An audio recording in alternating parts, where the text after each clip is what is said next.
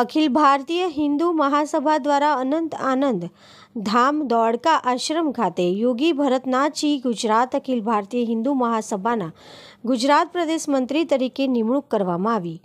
અનંત આનંદ ધામ, દોડકા, આશ્રમના યોગી ભરતનાથજી, સમર્પણ અને હિન્દુત્વ પ્રત્યેની નીતિઓને જોતા અખિલ ભારત હિન્દુ મહાસભાના રાષ્ટ્રીય સંગઠન મંત્રી રાકેશ તિવારીના હસ્તે ગુજરાત પ્રદેશ મંત્રી તરીકે નિમણૂક પત્ર આપી પ્રબળ ધર્મનિષ્ઠ સંગઠનમાં ગુજરાત અખિલ ભારત હિન્દુ મહાસભા રાજ્યકક્ષાના મંત્રીના મહત્વના પદની જવાબદારી સોંપવામાં આવી છે.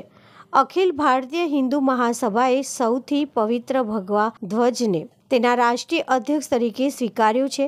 સમગ્ર સંગઠન હિન્દુ મહાસભા રાષ્ટ્રીય મહાસચિવ દેવેન્દ્ર પાંડેના સમક્ષ નેતૃત્વ હેઠળ મક્કમતાથી કામ કરી રહ્યું છે.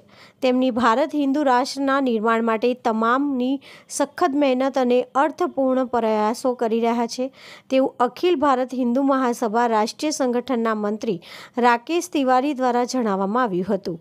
આ કાર્યક્રમમાં અખિલ ભારતીય હિન્દુ મહાસભાના અધિકારી પદ અધિકારી કાર્યકરો તેમજ આશ્રમના સેવકો ઉપસ્થિત રહ્યા હતા वीर बजरा के हर हर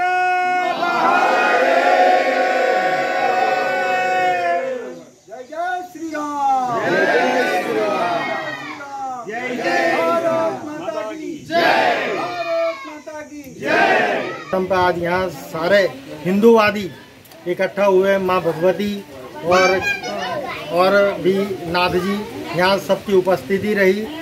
इसका मुख्य उद्देश्य यही था कि धर्म धरोहर संस्कृति की रक्षा कैसे की जाए उस पर नाथ जी महाराज से चर्चा हुई और हमारा सौभाग्य है कि अखिल भारत हिंदू महासभा के साथ आज नाथ जी और ये जितने भी पूजनीय संत जी हैं, वो सब अखिल भारत हिंदू महासभा में आज जुड़ रहे हैं। और अखिल भारत हिंदू महासभा में जुड़कर हिंदुत्व का परचम लहराएँगे और अखिल भारत हिंदू महासभा को प्रचंड करेंगे।